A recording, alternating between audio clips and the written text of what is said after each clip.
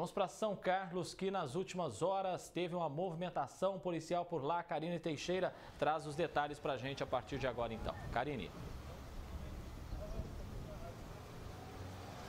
É, André, a Polícia Militar descobriu essa casa que servia como depósito de motos de origem suspeitas no bairro São Carlos V.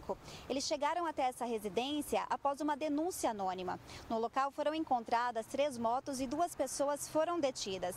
Em frente a essa casa, André, havia um adolescente de 18 anos. Ele estava em cima de uma moto e a polícia, ao constatar a procedência desse veículo, eles constataram que a numeração do chassi do motor estava raspada.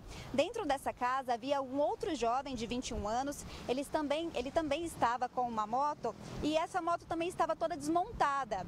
É, ao fazer ali também uma, uma varredura dentro dessa casa, foi encontrada a terceira moto. Aos policiais, esses dois suspeitos disseram que teriam adquirido esses veículos por meio de um leilão. A dupla foi detida e encaminhada para a Central de Polícia Judiciária para prestar mais esclarecimentos. Os veículos foram levados até o pátio municipal e as peças encontradas também nessa casa foram apreendidas. Caso alguém reconheça essas motos, deve ir até o plantão policial do 5 DP, André. Agora, Karine, teve uma outra ocorrência policial, essa envolvida um menor, ele acabou detido, é isso?